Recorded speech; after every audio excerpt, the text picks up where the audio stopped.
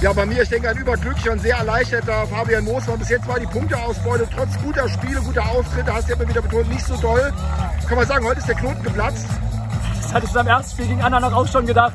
Ähm, aber wir haben die Leistung der letzten Wochen wieder, wieder ähm, bestätigt einfach. Es war heute äh, wieder ein sehr guter Auftritt von uns gegen die Salmrocker Mannschaft, die ähm, in der zweiten Minute, Minute hat einen Dicken liegen lassen. Wir hatten vorher, glaube ich, nach 20 Sekunden etwas Einzel schon schießen müssen, aber ich glaube, wenn du 5-0 daheim gewinnst und endlich mal zu Null spielst, ähm, kann man nur von einem, von einem super ähm, super gelungenen Samstag reden und ähm, ich bin hochzufrieden mit den Jungs. Hattet am Anfang ein bisschen Probleme. René kam nicht so ins Spiel, aber das habt ihr dann auch in den Griff bekommen und äh, ja, war einfach auch gefährlicher und auch in der zweiten Halbzeit habt ihr es auch mit unglaublich Willen und Leidenschaft an euch gerissen, habe ich so den Eindruck. Ne?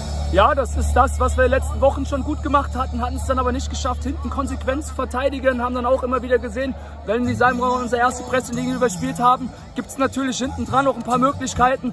Äh, wir haben es dann noch in der zweiten Halbzeit dann irgendwann noch ein bisschen gestärkt im Zentrum, haben auch ein bisschen anders angelaufen. Ähm, aber allein der Wille, ähm, das war geil gewesen heute bei den Temperaturen, das hat Spaß gemacht.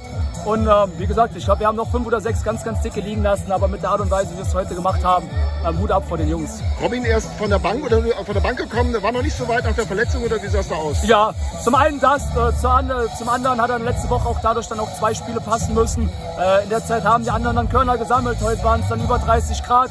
Und du siehst ja, du kannst jederzeit reinwechseln, der bringt seine Qualitäten immer wieder mit.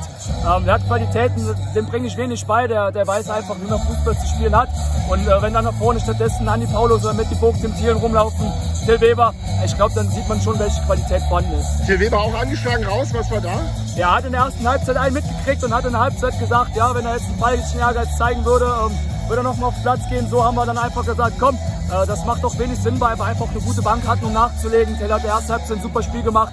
Aber wenn ich sehe, Benny Haas, der dann, der dann reingekommen ist, der direkt dann zwei Buden macht oder Robin, der das dritte vorbereitet, von daher ähm, glaube, war es heute rundum gelungen. Für Benny Haas in Salmrohr immer besondere Spiele, ne? Ja, das war, ähm, ich habe es dir eben gesagt, ist letztes Jahr nach seinen nach anderthalb Jahren Pause nach dem Kreuzbandriss hat er letztes Jahr in Salmrohr sein, sein Comeback gefeiert und damals haben wir da 3-1 gewonnen und da hat er schon ein überragendes Spiel gemacht. Ähm, heute dann zwei, zwei Hütten. Ähm, super Typ. Äh, es macht dann einfach Spaß, wenn die Jungs es dann so zurückzahlen oder dann so auf dem Platz äh, ja, ihr Engagement zeigen, wenn sie reingeworfen werden. Finde ich einfach sehr geil.